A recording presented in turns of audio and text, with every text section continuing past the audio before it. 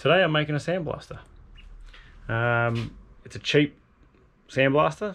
I need to sandblast some wheels, so um, I would love to have a proper aluminium, fully sick enclosed sandblaster. Um, one, I don't have the space, uh, and two, they're pretty expensive for how much I'm going to use it.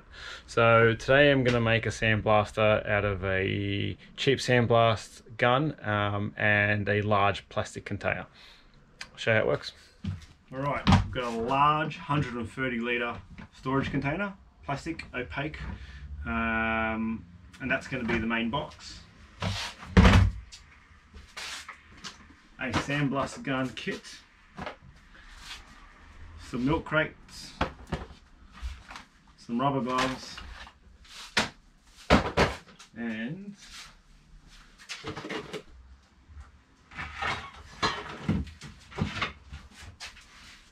perspex.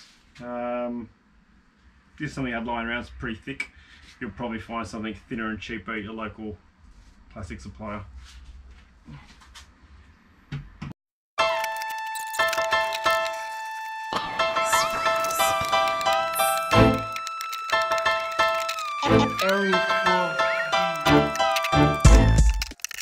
I'm just deciding now how high it should be. So I think I put it on the floor and um, I'll work well off the floor.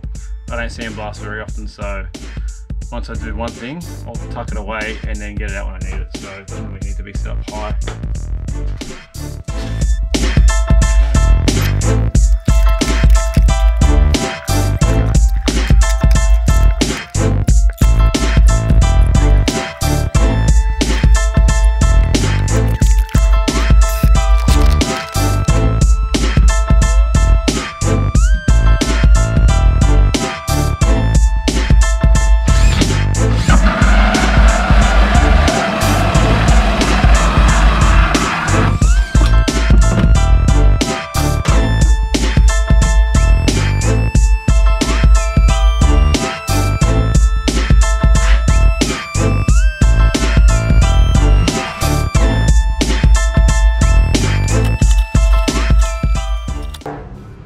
Now we're going to cable tie these gloves to the plastic and then we'll duct tape them to seal them off.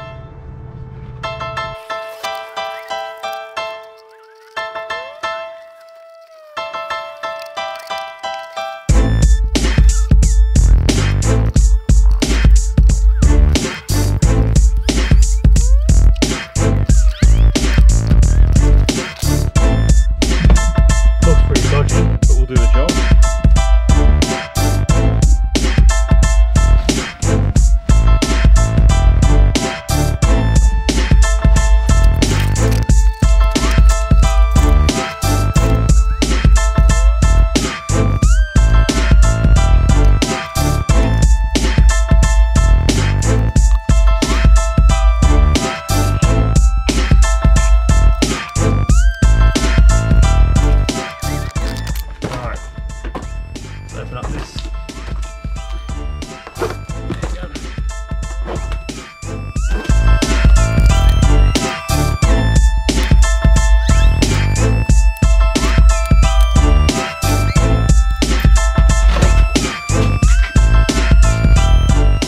Alright, next we need to make a hole in the side of the box for the airline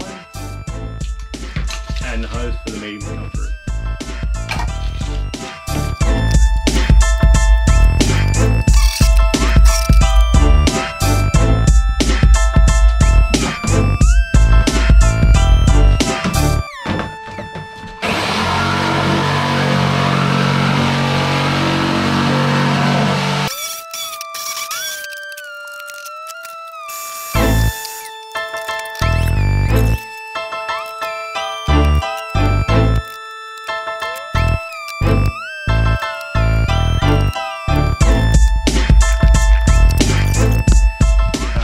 Lastly, we're going to make a hole for the medium to fall back through once it's um, blasted.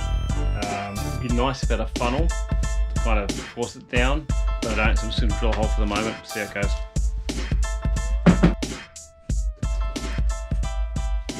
So that's the hole down the bottom. As all the dust goes down, it goes into that little bucket. And I've just left on the side. Um, it would have been ideal to have the pickup on the bucket of the medium so as it falls through it automatically sucks it back through.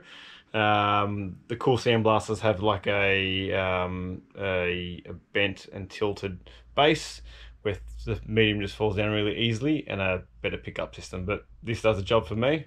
Um, there you go